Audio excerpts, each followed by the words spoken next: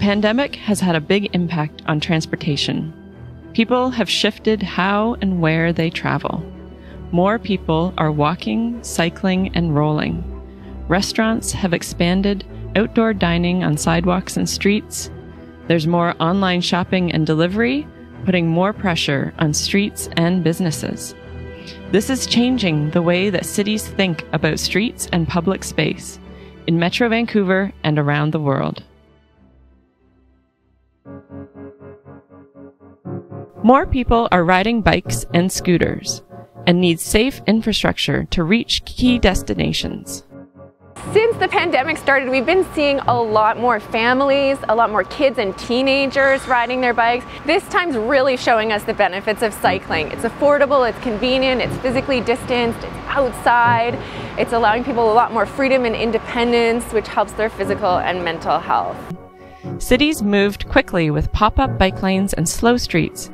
By limiting vehicle use on streets, they created more space to safely get around. People are understanding that um, we have designed urban spaces largely uh, excluding you know, youth at risk, racialized communities, mostly designed for motor vehicles.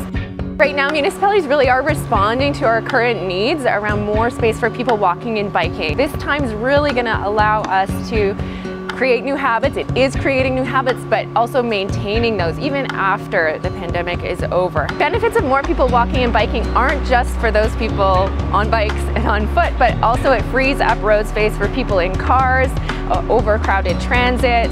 It moves people around door to door a lot more efficiently. I think that road space reallocation is going to be really important. We need to keep spaces freed up for people using active transportation.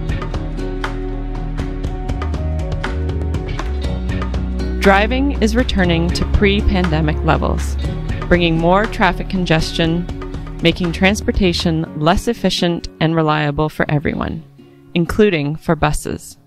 Uh, so, since the pandemic began, there's been uh, a global movement in favor of reallocating and redesigning streets. TransLink buses spend over 700,000 hours stuck in congestion. This moment presents just an enormous um, opportunity to make our region move more smoothly, more reliably and faster.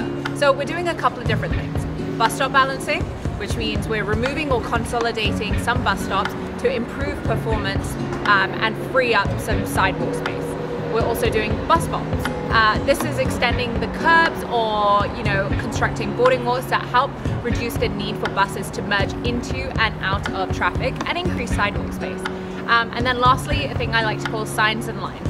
So this is making regulatory changes and lane designations that prioritize our buses or separate them from other uh, traffic. The thing that's most exciting about this work is it's actually helping people get to the places that they need to go faster and more reliably.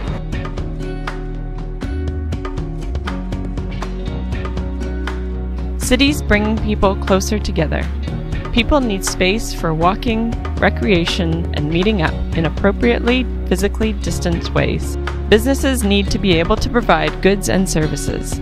Cities are transforming their streets, opening them to pedestrians and cyclists, turning parking spots into patios. We found the city of Vancouver to be very responsive in terms of the needs of our business members. Um, great example right here, you know, the ability to provide uh, restaurants and grocery stores with the ability to outdoor dining spaces in a, in a space that was traditionally used for on-street parking. I think my last count was that there were 400 uh, patios that were approved by the city literally within a couple of months.